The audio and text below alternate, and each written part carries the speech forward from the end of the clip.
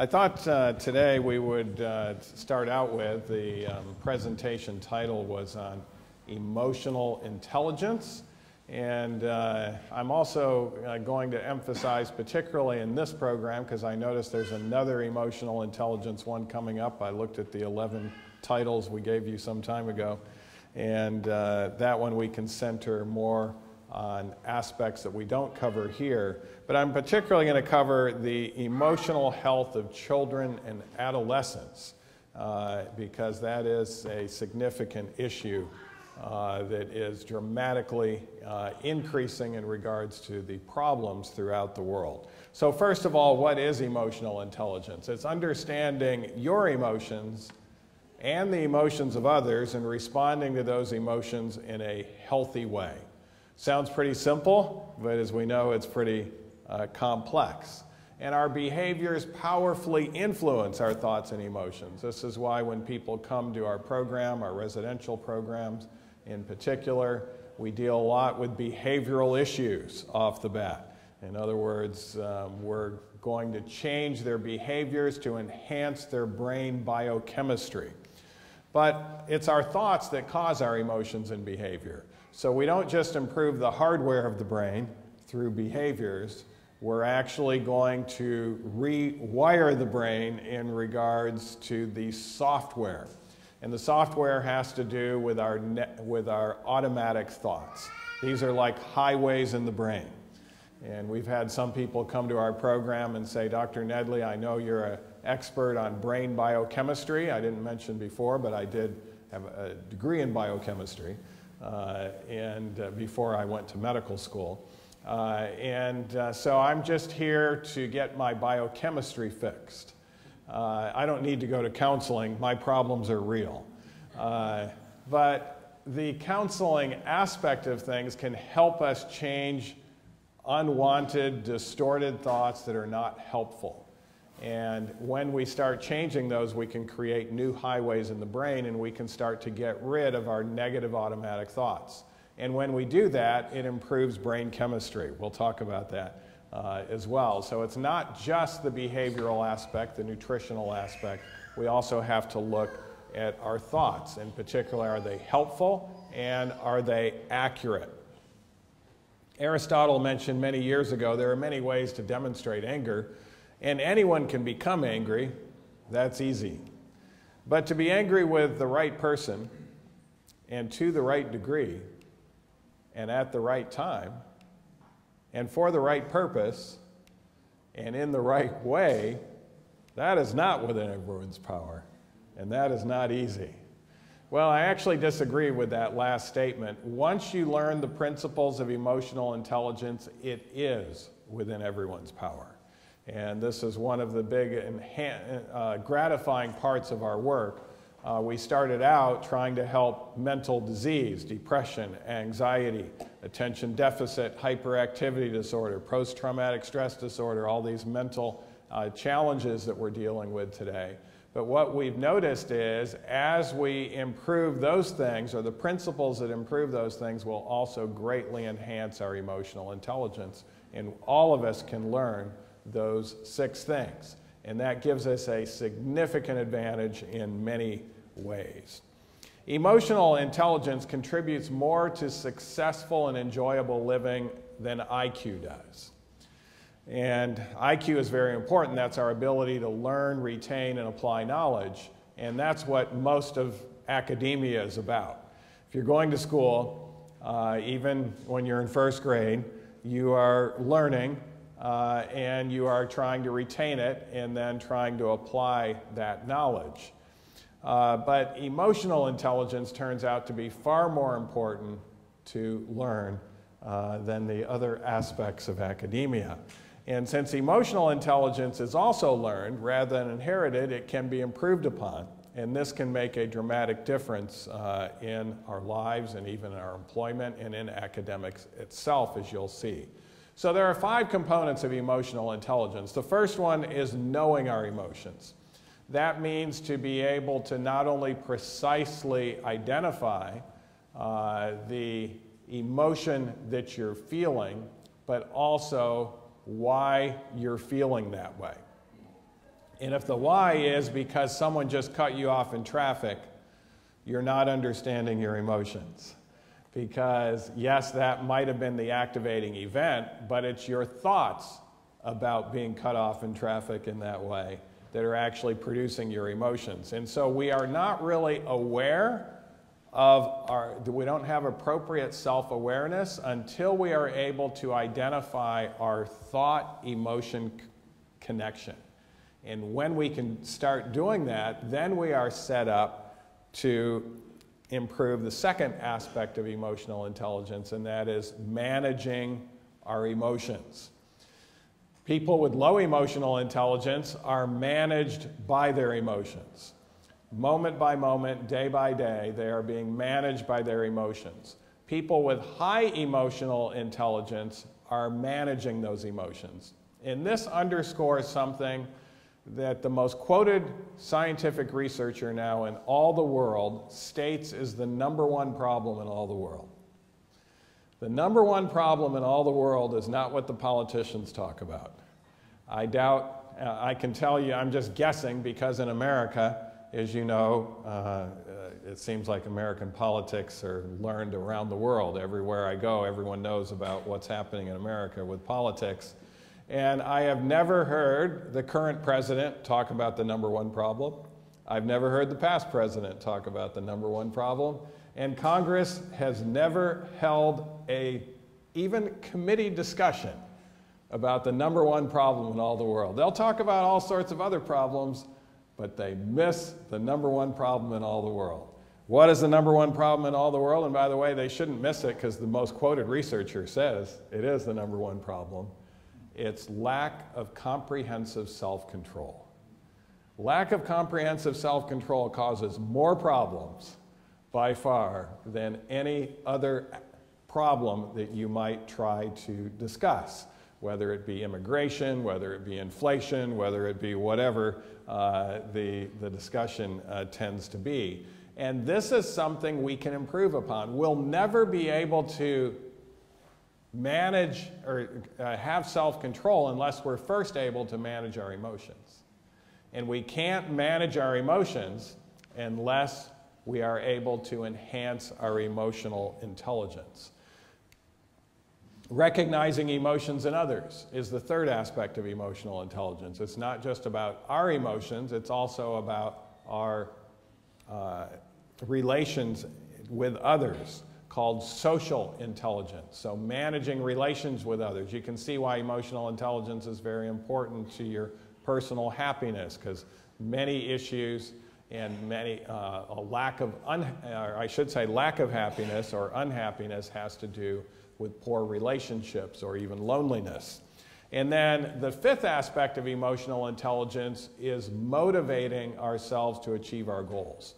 You can have a high IQ. In other words, you can have a high ability to learn, retain, and apply knowledge, but if you are not well motivated, you might not even have a high grade point average. You might actually be failing classes even though you're capable. And uh, that is due to low EQ. It's not due to low IQ. EQ is the emotional intelligence aspect of things. So we're focusing in on this presentation particularly with children. Children can actually develop self control. And studies show children with better self control are actually more popular with other children, not less popular and they score higher on SAT scores 10 years later. Now, in, a, in America, when you're in high school, you take a college entrance exam. It might be called SAT, there's another one called ACT. And a lot of um, high school students, to get into the best colleges and universities, study hard to do well on that test. Studies have shown the best predictor of how well you're going to do in high school is actually how much self control you have at age six. Age six actually determines what your SAT or ACT score is going to be 10 years later. Because if you have high comprehensive self control at age six, you're going to be well motivated and you're going to be able to learn better and you're going to do better on that test. Displaying self control by age 11 highly correlated with successful employment throughout participants' lives. Participants with low self control experience three times as many months of being unemployed over 22 years when compared with those with high self control. Increasing emotional intelligence has been shown to effectively prevent or treat depression, phobias, and by the way, one of the phobias that's uh, significantly increasing among our young people today is called social phobia. And so many of them, they'd much rather text somebody than actually talk to them face to face because of this social phobia. And then another issue that we're seeing is uh, they'll call it social anxiety, but in reality, sometimes it's not social anxiety, it's called social appearance anxiety.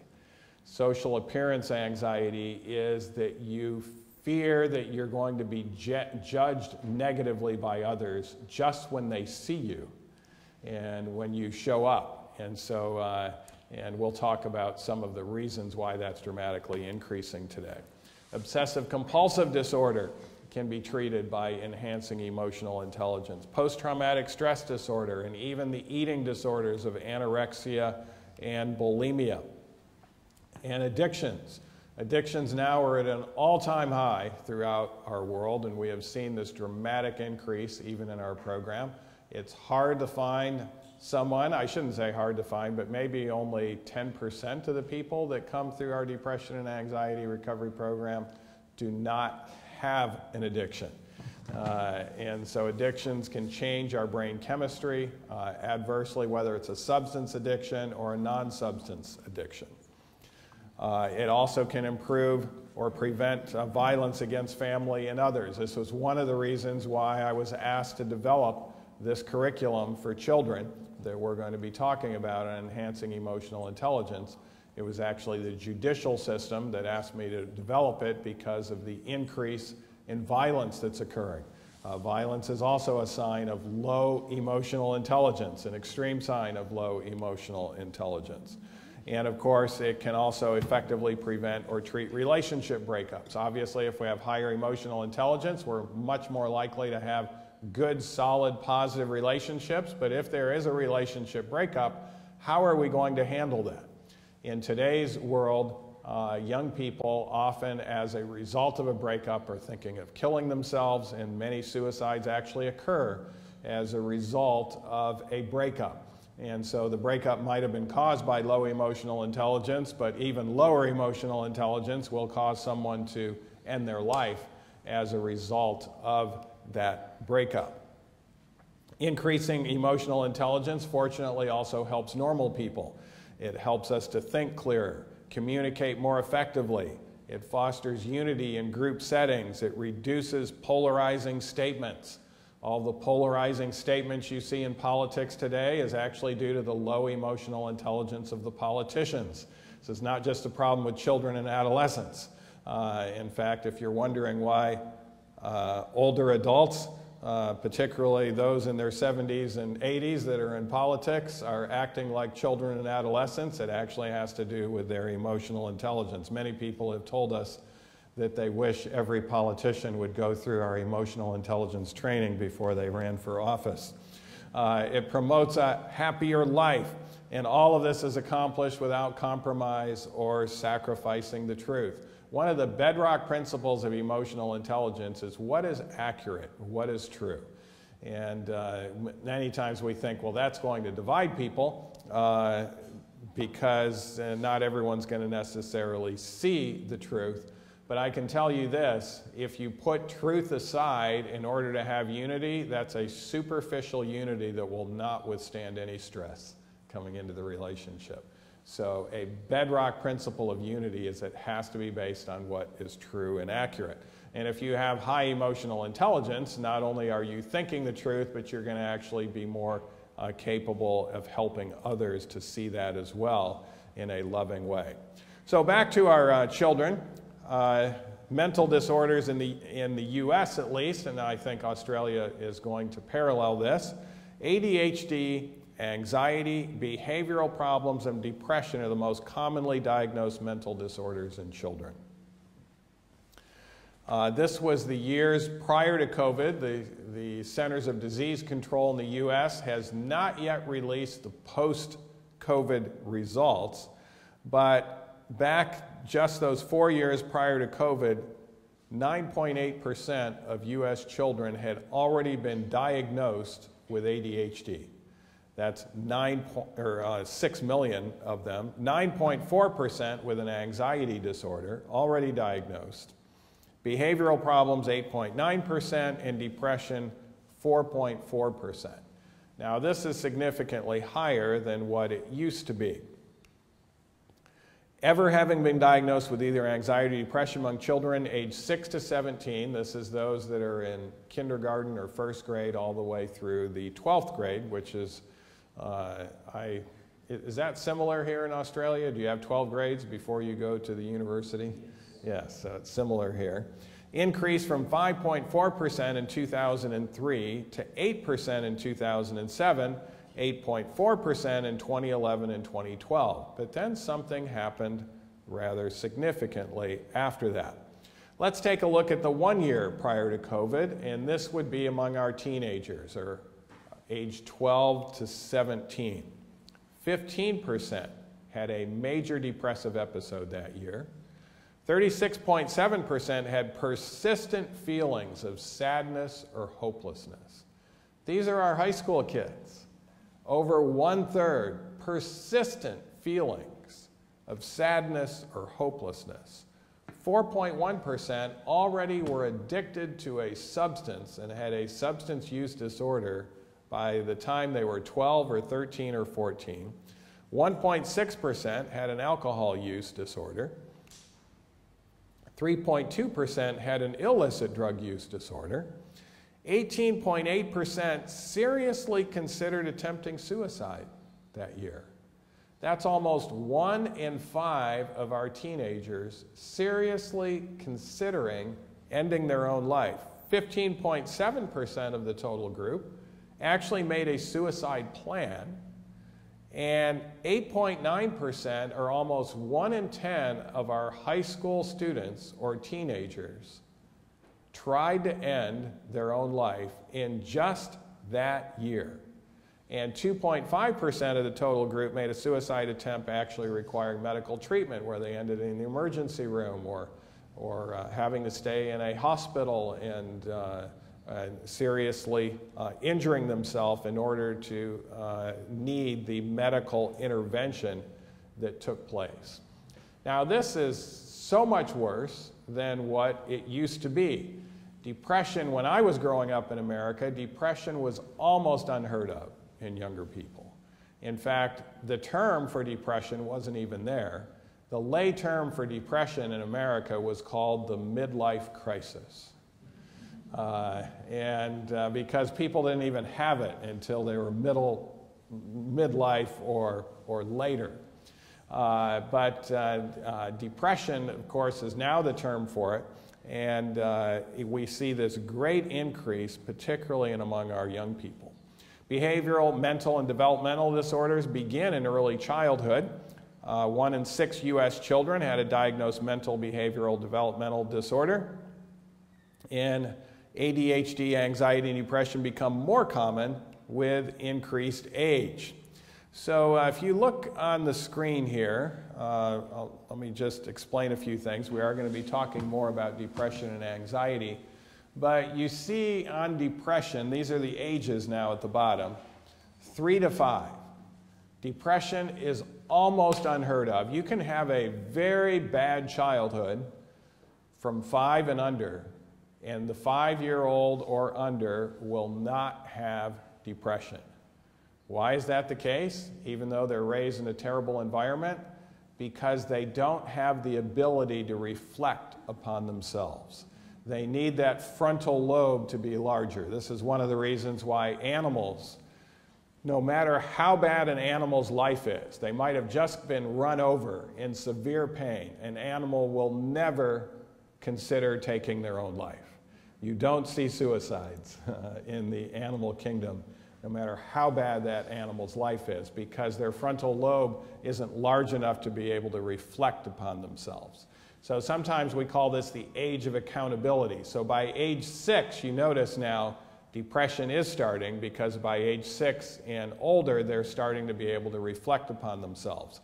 So anyone who is considering suicide, it's actually a sign that they do have a frontal lobe because they are reflecting upon themselves. But it doesn't mean the frontal lobe is enhanced or working well. In fact, the way to improve suicidal thoughts is to greatly improve the frontal lobe function so that we're analyzing things appropriately and healthfully. Now, notice by the time it's 12 to 17, and I'm sorry for this color, but if you could see that 12 to 17 is not accurate. And uh, it has to do, uh, that 12 to 17 is, is up significantly from 6 to 11. So by the time they get to 12 to 17, you can see how it actually went through that 5 line there, because otherwise it, wouldn't, it would be a solid line. Uh, the depression scores are significantly higher. And the same for anxiety. The 12 to 17 is even above the 10 as far as anxiety. Now, you can have anxiety as a child, animals can have anxiety as well. Uh, you don't need a frontal lobe to have anxiety. Uh, but you notice the older the child gets, the higher that anxiety level gets. And behavioral disorders actually start to drop after 11. Uh, we see it pretty high, 3 to 5, even higher, 6 to 11, and then it drops after 11. So, when did mental illness begin to skyrocket? In the United States, it was 2012. And what was significant about that year? That was when half of Americans owned a smartphone. Now, in every country of the world, once half of the population owns a smartphone, you see a marked increase in depression and anxiety. Now, I was in Kenya in 2019. Kenya was known as a country that did not have depression at all. Poor country, many challenges there, economic challenges, even challenges getting enough water, but no one was depressed. They're all pretty happy uh, in that country.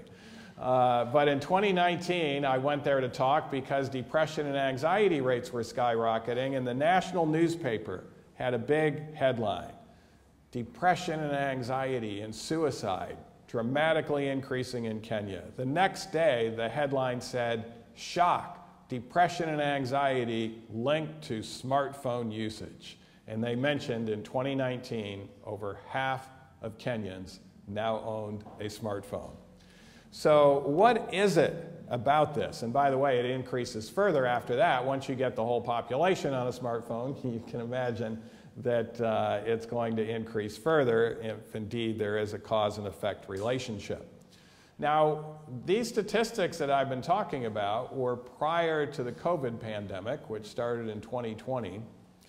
What do you think happened to mental health and emotional wellness during the pandemic? Did it get better or did it get worse? it got worse. Now, the media was focused in on the COVID pandemic, but it turns out there was another pandemic that was even more significant sweeping the world. What was that pandemic? It was the mental illness pandemic. And the studies have shown, and the CDC has not yet come out, they're really analyzing the data and crunching the numbers, but the studies are showing that mental illness went up at least by 25% uh, during the COVID uh, pandemic. Uh, in fact, some of the high school students during the COVID pandemic, we talked about 18.8% seriously considering suicide. It was like 50% in some of the studies seriously considering suicide. Now, of course, were they using their screens more or less during COVID? They were told that they couldn't have face to face social interaction. They had to get on screens uh, because otherwise, grandma or grandpa would die uh, if they didn't and they caught something, etc. So, a major longitudinal study looked at the lives of more than a million young people. Teens who spend large amounts of time glued to phone and computer screens are markedly more happy or less happy? Less happy than those who prefer what? real world activities and interactions. Social media, texting, video chatting, multi platform video games, all associated with what? Decreased happiness. Now, this is not intuitive to our young people, and I should also say it's not intuitive to our adults. Uh, this, this problem is not confined to young people, by the way. It is a problem throughout the age spectrum.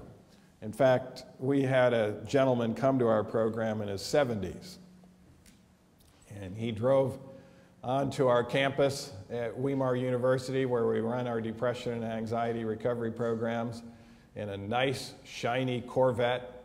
And uh, some of the young people were, uh, were gagaing about this beautiful Corvette. And he comes there to the Weimar Inn to go through the program. And I asked him, I said, So why are you here? And he says, My wife made me come. She says she is divorcing me unless I come to this program because my mental health is causing her to have all sorts of mental health issues. By the way, mental health is one of the primary reasons why divorces occur. It's usually one or maybe both individuals that are having mental health challenges that, that bring it about. And so uh, the first lecture we give in our depression and anxiety recovery program is a lecture about technology.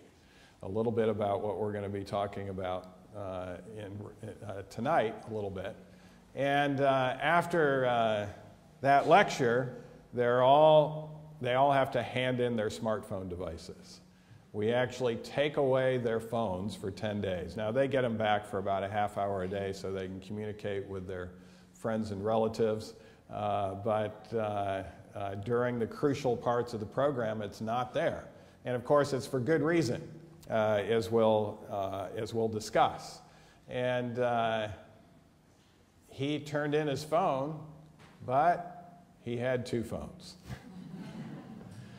and a couple of days later, of course, he's late to meetings and he's having uh, significant issues and he's not sleeping well and things like that. And then, of course, we find out he has another phone. And so, uh, but he was, uh, you know, pretty uh, hardcore, just wanting to do what he wanted to do, et cetera.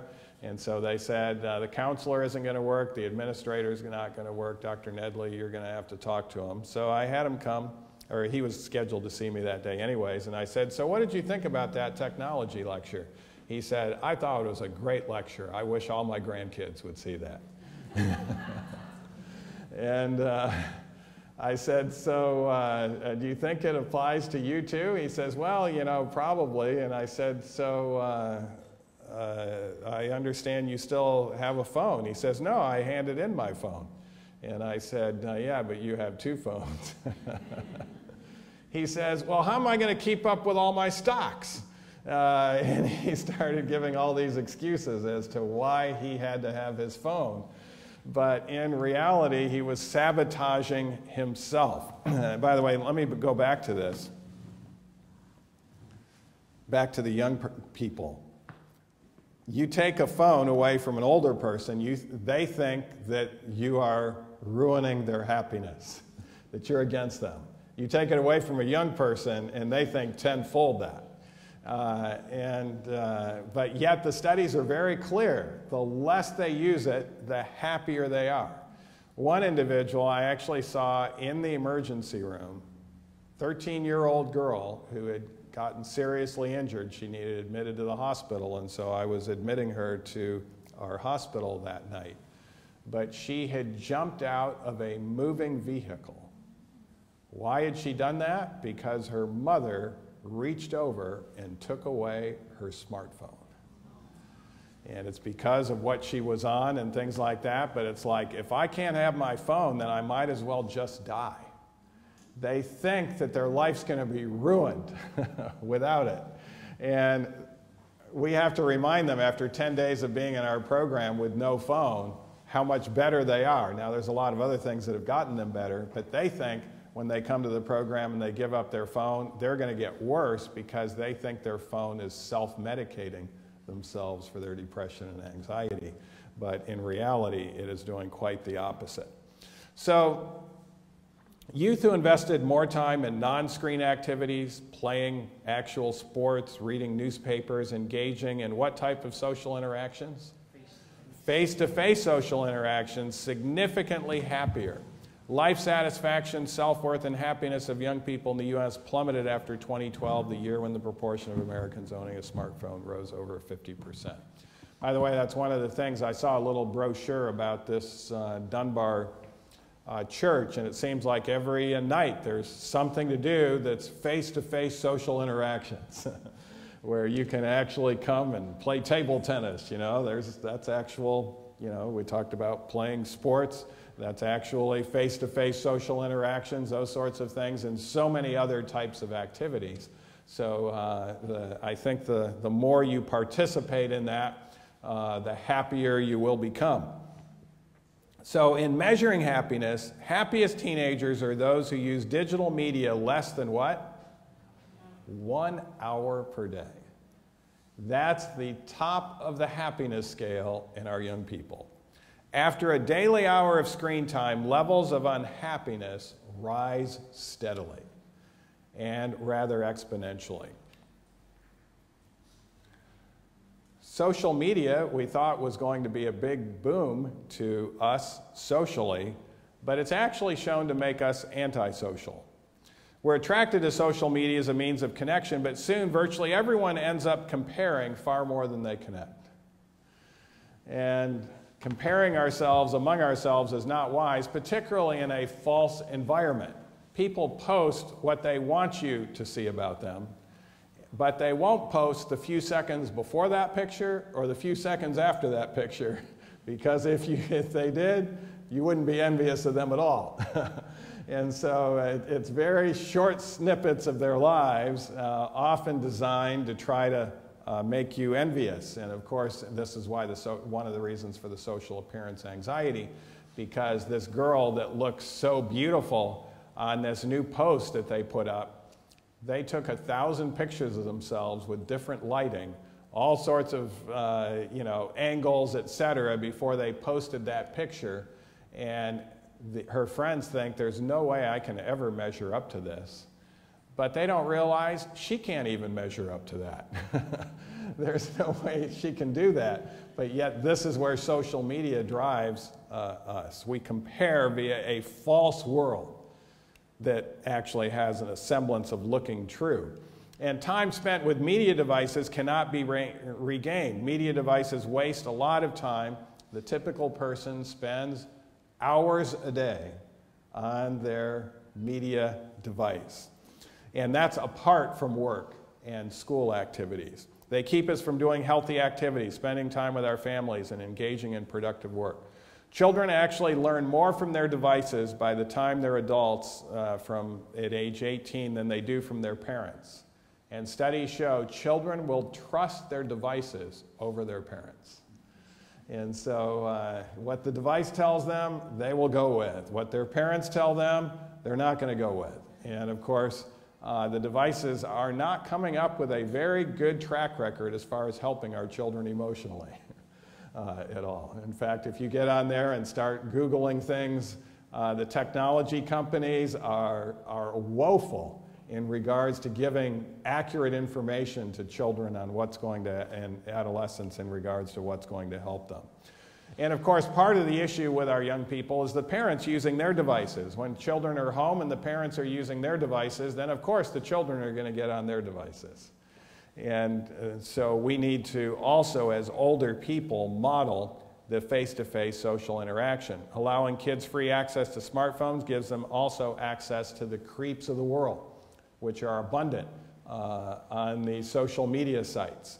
And uh, so, uh, in a very young age, they can go to some very creepy places uh, as a result of interacting um, with these uh, creeps that are out on the internet.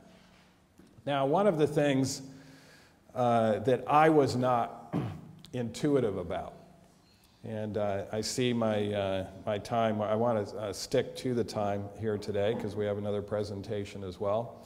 And so we might, uh, uh, we could actually go forward with this in the next hour with some of the things because it will play into depression. But let me just uh, uh, mention this. we have known for a long time that rapid scene of reference changes that take place in regular entertainment television or regular Hollywood movies suppress the frontal lobe of the brain. They increase rates of depression and anxiety. They decrease your ability to accomplish. They decrease your creativity. There's all sorts of things that they, uh, they'll double your risk of academic failure in just two years of watching movies or Hollywood TV, et cetera. So we've known about that for a while. Even when Bill Clinton was president, he gave a speech that his Hollywood supporters were very upset at when he talked about the data in regards to entertainment television and movies and, and the problems it causes. So when smartphones first came out, I did not think they would be as bad. The reason why is I thought, well, you're vegetating in front of your Hollywood TV, and within 90 seconds to three minutes, your frontal lobe does get suppressed because of the rapid scene of reference change. But here, you're going to have to be making decisions. What are you going to click next? What are you going to turn to next? And so I thought, well, frontal lobe is involved in decision making, so maybe this isn't going to be so bad. And I think that's where kind of most people were with it, thinking that this was pretty harmless.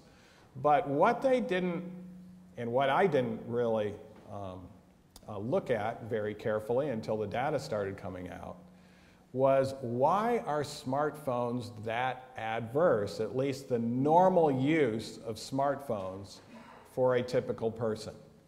And it actually has to do with something else the frontal lobe does. In order to pay attention and focus on something for a long period of time, it requires the anterior cingulate gyrus of your frontal lobe. That's also the area of your frontal lobe that manages distressing emotions. So if you can't focus for long periods of time, you're not going to be able to manage distressing emotions. And so what studies have shown is a high school kid will get on their device in order to do their homework. In fact, they're told to do this. The, the, the uh, teacher says, get online and research this out and write a paper or whatever. And so they get online to do their homework and they're thinking, okay, maybe I can get this done in 30 minutes. Let's get online and get this done. Studies show within three minutes, the kid is no longer doing his homework. Why is that? They had full intention of getting that done. Anyone? Why didn't they continue after three minutes? They got distracted. Now, why did they get distracted? Because as soon as you're online, the engineers figure out what it is that you like, and within three minutes, it knows that this kid likes BMWs. Do they sell BMWs in Australia? They do a lot in America. So you have BMWs here made by the German uh, manufacturer. So this kid likes BMWs, and so a BMW starts to float across the screen within three minutes, and it says there's a new A15 down at your local BMW dealer. And the kid's thinking, oh, I heard about this new one that's coming out. Uh, well, let me just look and see what it is, and let's look at the details. And so you start seeing the details and start seeing a little video about it. And then, as they're, they're in the middle of watching that, then all of a sudden a news flash comes. Boom. Donald Trump was handcuffed and put in a New York City jail oh, I've got to see this. And so they click on this to see what the right says about it, and then what the left says about it, and the look on his face as he's being handcuffed. Uh, and then a friend of theirs realizes they're online and sends a little Snapchat. That Snapchat, if you don't look at the picture right away, you're going to lose the picture. Oh, I wonder what that friend's taking a picture of. Let's take a look here. And so they're looking at that, and then someone else comes and gives them an iMessage and texts them, and oh, yeah, there's this going on. And pretty soon, 30 minutes has passed, and the kid is now thinking, why did I get on this screen to begin with? Oh, yeah, my homework. and so this division of attention shrinks the anterior cingulate gyrus. If we never have to pay attention for long periods of time, that area of the brain will start pruning itself and saying, You never pay attention for more than five or 10 minutes on anything. You don't even need this. And so it starts pruning it down, but when it prunes it down, the kid will no longer be able to manage distressing emotions. This is why taking the phone away from the 13 year old girl, she had no ability to manage distressing emotions because she was continually getting distracted by these devices. And so she goes to the extreme end and says, Let me just end my own life. And so, in order to build this up, we have to actually use our devices far differently. And studies show we are so addicted to using them harmfully that we actually have to give them up for about six weeks. An electronic fast for six weeks will often get rid of most of childhood mental illnesses today. Uh, in fact, there's a psychiatrist down in Los Angeles. She's called Victoria Dunckley. Uh, she's become famous because she says she won't diagnose any of these diseases in young people until they give up their screens for six weeks. She'll see them back in six weeks, and then they'll say, "Well, how can I live life without sick? You know, in school they make me get on my devices and all that." She'll write a disability note. This child is disabled and cannot learn by screens. You have to give them printed tests, printed books, those sorts of things. And so the teacher will have to accommodate that because of the Disabilities uh, Act. And in six weeks, this kid's brain will normalize just by taking them away. And then after that, we have to train them how to use it intelligently.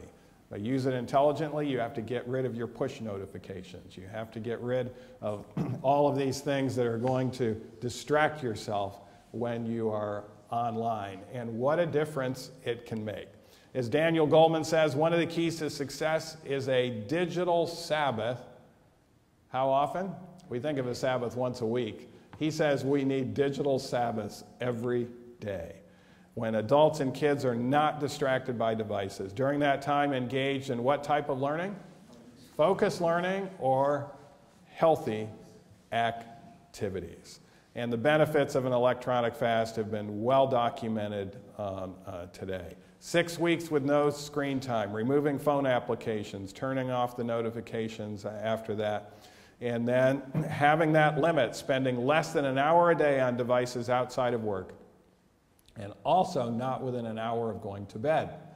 Uh, using screens will actually decrease your melatonin output because of the light emitted by the screens. It doesn't happen when we read printed books. So before going to bed, read a printed book uh, and uh, not use a screen for at least an hour uh, before uh, going to bed.